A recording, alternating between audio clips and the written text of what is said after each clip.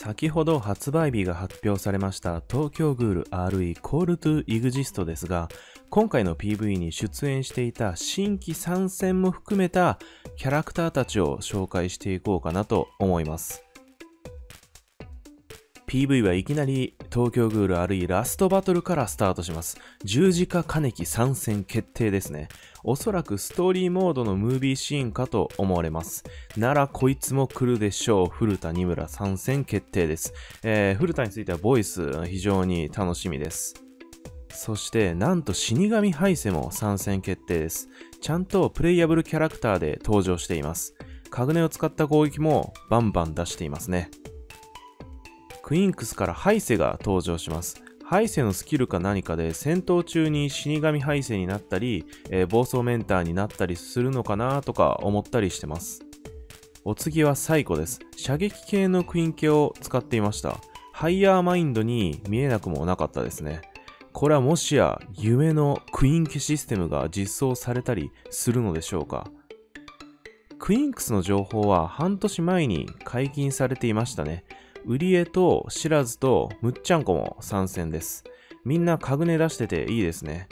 もちろん、物語終盤のクインクス1期生も実装してくれますよね、運営さん。次に CCG からアモンさん、有馬さん、そしてなんとお待ちかね死神十蔵も参戦決定です。いやー、マジで、これはマジで嬉しい。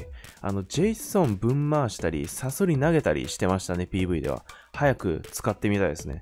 アモンさんは堂島とクラのバージョンがあるんでしょうか？有馬さんに関しては、鳴神ぶっぱしながら春歩を決めてたので、多分このゲームでも最強やってるんでしょうね。グールからは、ヤモリ戦の金木が参戦します。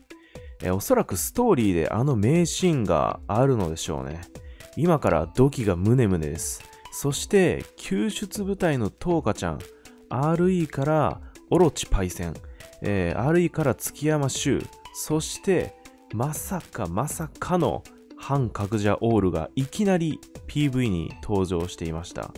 そして、ムカデカネキまでもが参戦です。いやー、激アツですね。で、お次は、あやとくん。えー、僕の好きなセリフ、あだになったなが聞けるのでしょうか？で、えー、敵のボスキャラにどでかい赤眼のフクロウが登場することも PV で判明しました。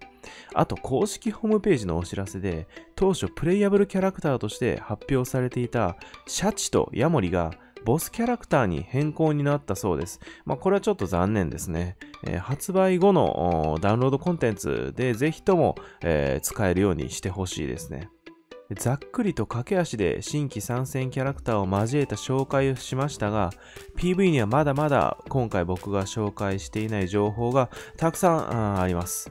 後日動画にしていこうと思いますが、よかったら皆さんも探してみてください。